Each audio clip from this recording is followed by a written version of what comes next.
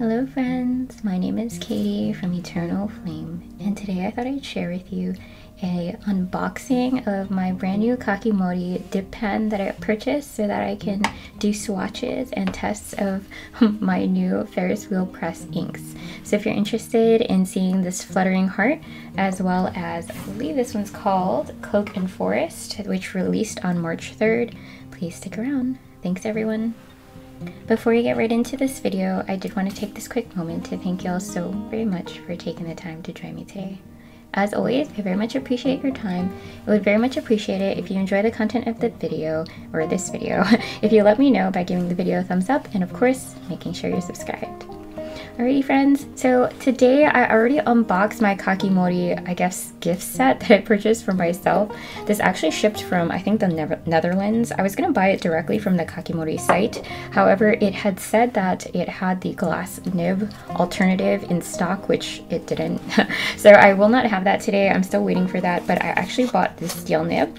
So you can see here, they checked off stainless steel. Um, this is the packaging. It's very nice. It seems very, um, guess, environmentally friendly type of material. But the reason I didn't or I unboxed everything first was because the box for the gift set actually got really beat up in transit, which is totally fine. Um, so this is the Kakimori note here. I can't read it. Let's see if there's some English. Yes.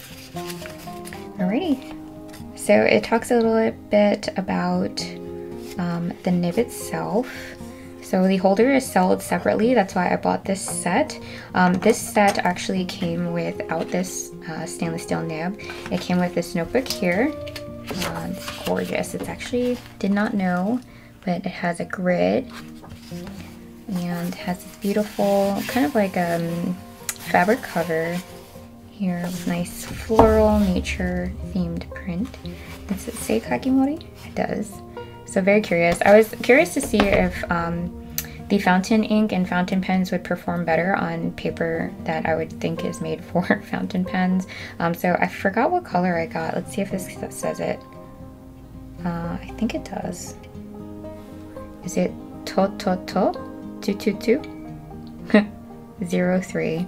Um, so we can swatch this as well. I also have some water here that did not come like this, I guess, um, cup I bought on clearance at Joann one day. It came with the stand, the ink, the notebook, as well as the nib holder and this um, metal fountain, I guess, nib here.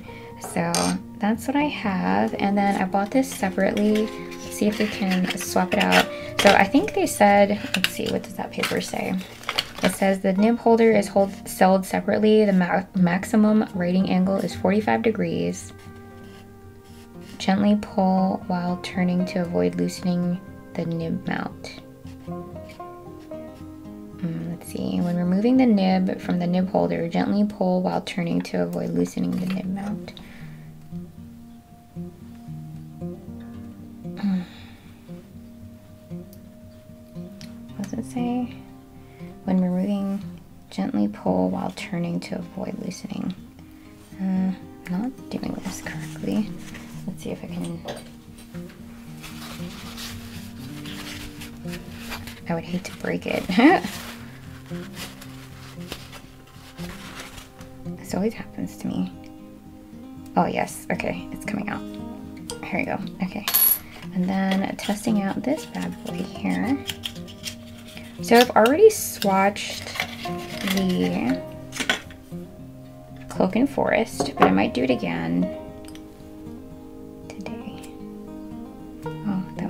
easy. There was a line to guide it. So I think I'm all the way in. I'm gonna put this in the box to keep it together today. Oh boy, it's slipping out of my hands. And see what we got. I'm actually gonna use this guy just to swatch everything. And kind of see, I'm gonna give you a close up very quickly before we get started of the last time that I did a swatch. As you can see, I started to run out of ink. So, let's see. I do have a discount code. I think it's for 10% off a Fair purchase from Ferris Wheel Press. So if you're interested, it's K-A-T-I-E, Katie. I will leave a link in the description box down below as well as they, my name.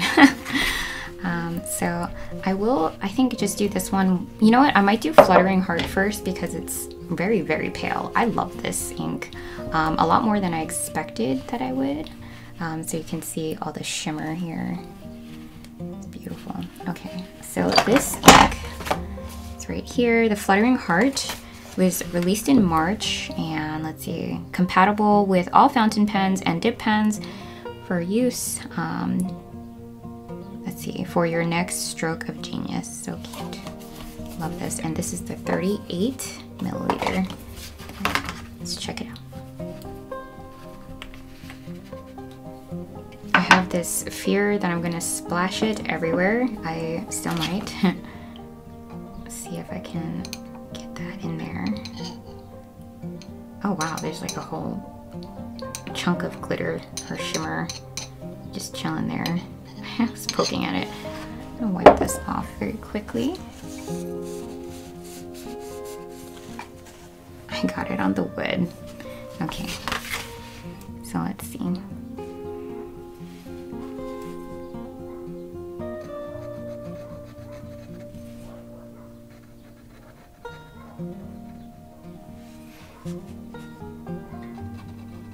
Oh, that's gorgeous. I love that. It's very interesting feel. It kind of, I would say, feels a little scratchy.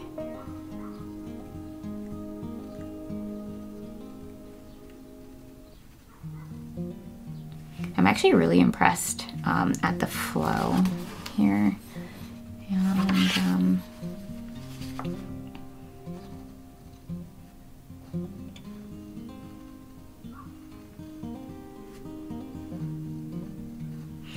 Say this um, nib holder, the Sakura wood, is very, very light. I love that so much.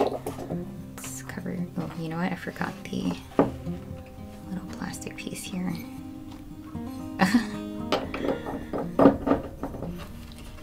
Close that up so you guys can just kind of see it.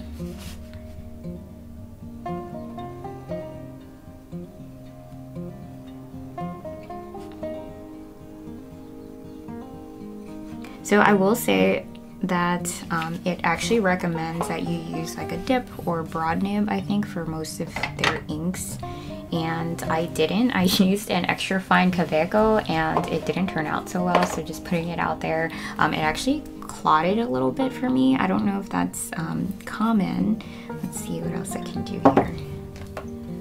I don't know that I necessarily need to keep dipping. I really don't. Um, I don't know if you can see. I love this pen.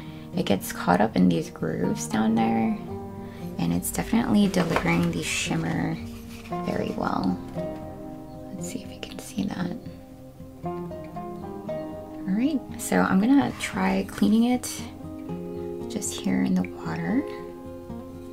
I'm gonna try to give it a good rinse because I don't want to accidentally mix my inks since I'm dipping directly in.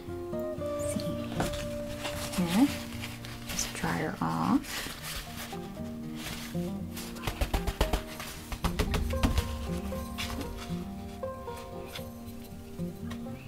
I'm also afraid to contaminate it and get like water in, but that's fine. I can only do so much, right? And then we're gonna swatch this guy again, and I'm gonna do it up here, kind of like that, so you can kind of see it. I hope this was helpful because these the, the pens were actually very expensive. Um, but I wanted to find the appropriate way to test out these inks for you all. Oh, gee.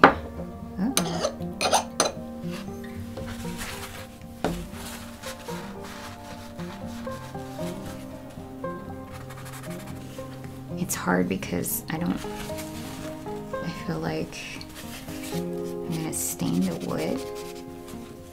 Eventually it will, I'm sure.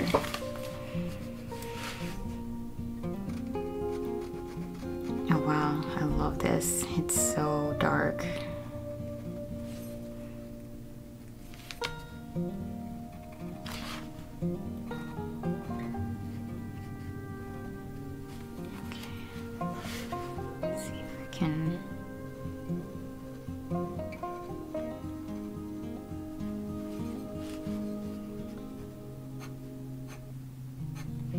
It's amazing how precise this nib can be.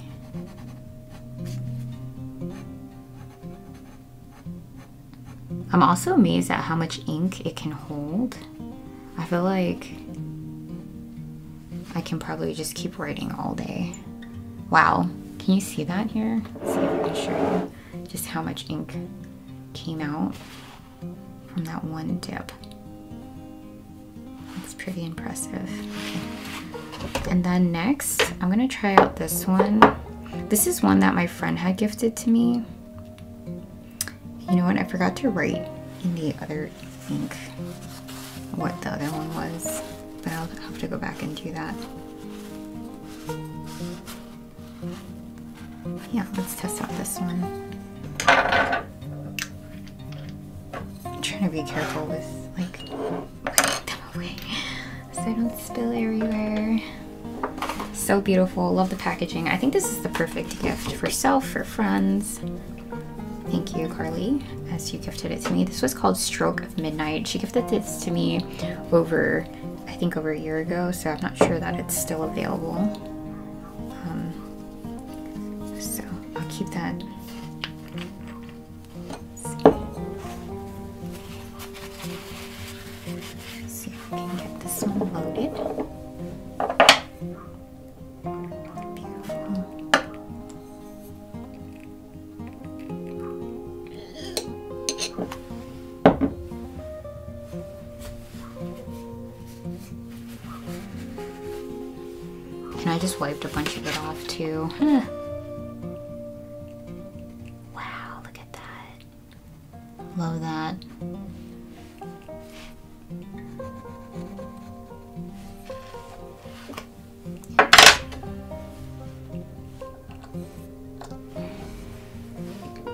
Oh no.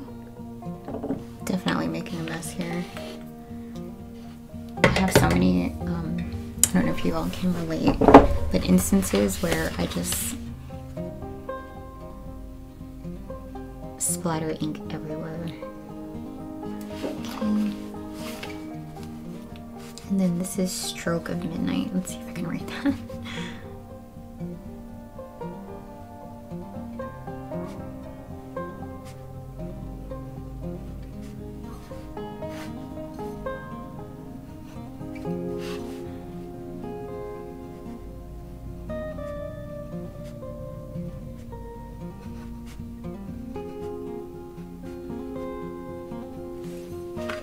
I wish I had better handwriting. Oh, sorry. Oh my goodness. Um, but yeah, it's very pretty. It's kind of dark there. Let's see if I can lighten it up and show you what that looks like.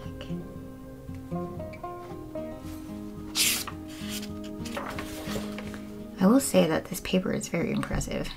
Because if you see how much ink I'm pulling here on the page, and it's not showing through at all.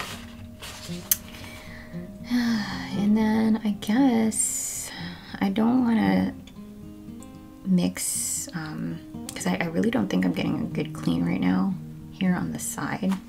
So I'm going to do is actually probably swatch some of the other colors that are like blues and greens, if that makes sense, that I have. Also from Ferris Wheel Press that I shared in a previous video, it's a charger set. These are very affordable. They're so cute. Great way to test out some of their inks. Um, I think this was like $15 for the set. So this is a green and then this one's a blue. I'm gonna put this one aside because I don't wanna, like I said, mix them up. Although since it's just a sampler or charger, it'd be awful to do that, I guess. Oh, this one's so pretty. Okay, so this one, they're made in Canada. PM. I actually don't know. Does it say it on the box? Made in Toronto. I guess it doesn't say. Okay.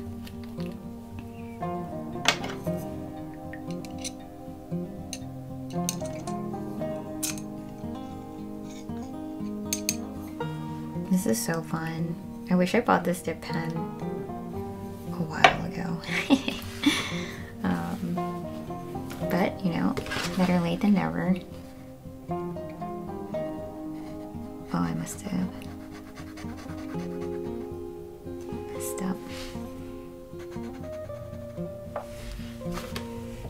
Pretty.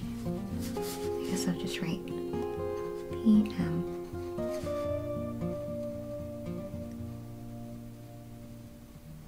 So actually you can get a very fine, I feel, uh, feel with this pen if it's not overloaded with ink. I think that was my problem. I love the nature tones to this.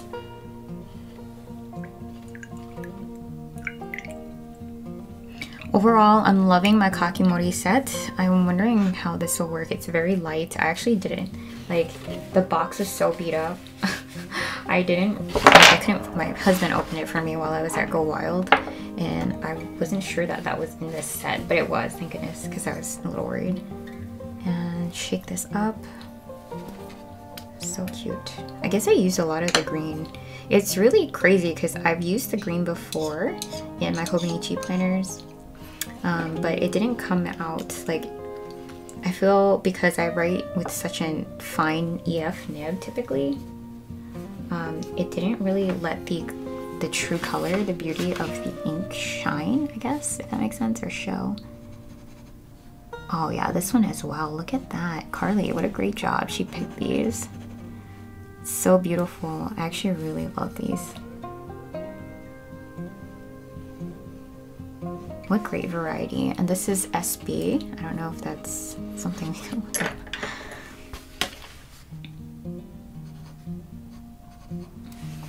And now I'm actually really curious to try this one out, but it's just the wrong tone. um, but yeah, wow, this is so pretty. I don't even want to stop.